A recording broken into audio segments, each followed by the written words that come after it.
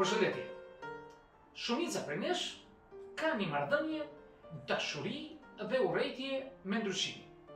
Nga njëra anë ne dëshirojmë përparim dhe zhvillim, hm, që është një parim thelbësor i jetës, por nga ana tjetër, perspektiva e ndryshimit ose vetë ndryshimi mund të na shkaktojë ankth dhe dëshirë për të shpëtuar në çdo mënyrë.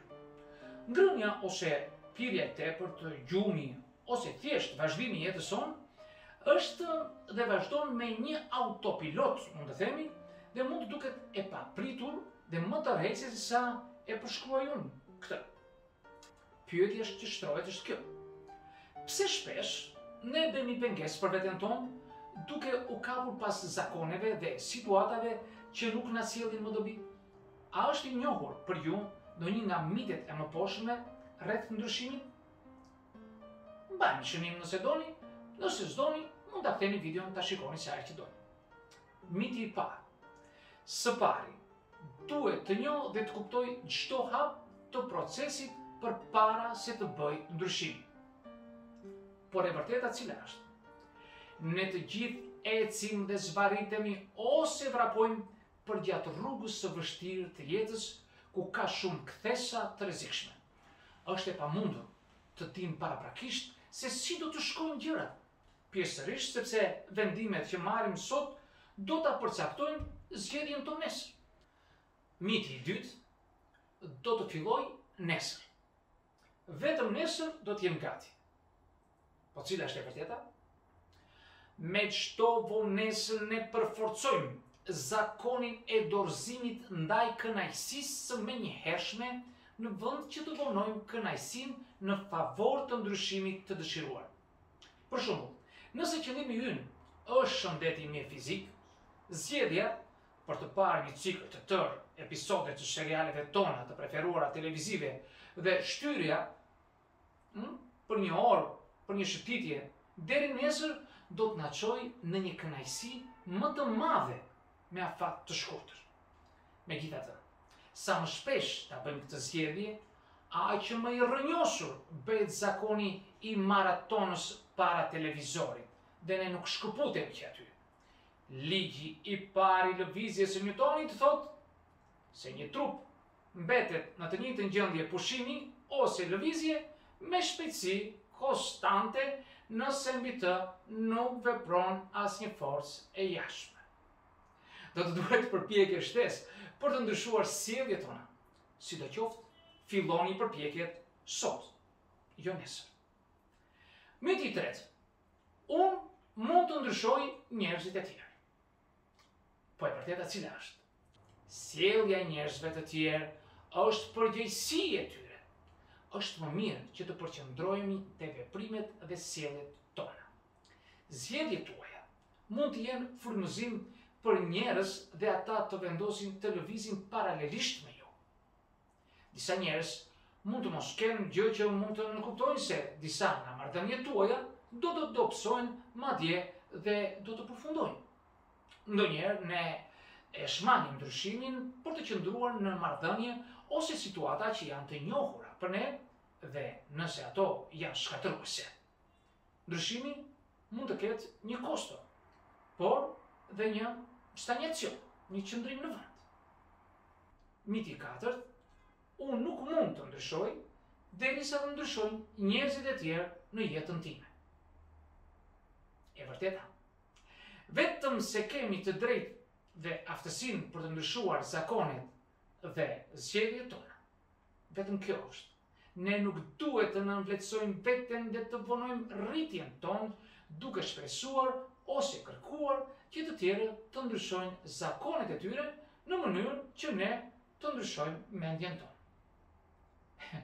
Kjo pritje i jep aq shumë fuqi bashkëshortit, fëmijës, bashkëshortes, prindit, mikut ose shefit tonë, saqë mund të na dënojnë nëse të tjerët vazhdojnë të mbeten të njëjtë. Ne jemi të aftë të ndryshojmë pavarësisht nga sjellja e të tjerëve. Mbajeni mend. Miti i pestë. Unë mund ta ndryshoj këtë zakon, sjellje dhe do ta ndryshoj kur të shoh një shenjë ose të përballem me një krizë. Por e vërteta cila është? Ndërsa ndonjëherë, një krizë mund të jetë një thirrje zgjimi, o nuk ka gjasa që vetëm ajo të na mbajë në rrugën e re që ne zgjedhim. Në të vërtetë frika dhe ankthi që zakonisht shoqërohet me një krizë mund të rezultojë në lirimin e adrenalinës që mund të na motivojë përkohësisht, por nuk është e mundur të jetojmë në një gjendje të tillë për një kohë mjaft të gjatë. Të kesh një arsye, domethënëse, mbështetje nga mjedisi ynë, është një vizion i qartë i jetës sonë të dëshiruar. Në vend që të përqendrohemi në atë që duam të shmangim, ku ka shumë, shumë gjasa të na ndihmojnë të vazhdojmë në rrugën tonë të re. Miti i gjashtë, më duhet të arrij në fund për të ndryshuar. E vërteta cila është? Nëse kemi zakon të jemi nga momenti, në moment të vetëdijshëm për mendimet, ndjenjat, qëndrimet dhe sjelljet tona, do të jemi më të aftë të dallojmë se kur mund të ngecim. Kështu, që ne do të jemi në gjendje të ndryshojmë kurs përpara se situata të na dalë jashtë kontrollit. Ne nuk kemi pse të futemi në situata dramatike, as personalisht, as me të tjerët, hm, për të ndryshuar zakonet dhe drejtimin në jetën tonë. Mbajeni mend. Miti 7, nëse një situatë apo marrëdhënie nuk shkon saktësisht siç pritej, ashtu siç e kam menduar unë, Duhet ta ndryshoj ose ta lë. E vërteta është se jeta mund të jetë e bukur dhe nëse nuk mund të marrim gjithçka që mendojmë se na nevojitet. Asnjë marrëdhënie, punë apo mundësi nuk vjen pa vështirësi. Duhet të kemi kujdes që të mos refuzojmë dikë apo diçka sepse nuk karakterizohet nga perfeksioni. Ndoshta ajo që jemi thirrur për të ndryshuar nuk është situata, por qëndrimi ynë. Miti 8 është Unë jam shumë i vjetër për të ndryshuar. është tepër vonë për të ndryshuar. Unë nuk luaj. E vërteta është. Asnjëherë nuk është vonë. Shumë njerëz bëjnë ndryshime të mëdha rrënjësore dhe në të 50-at, dhe në të 60-at, dhe në të 70-at, apo dhe më vonë.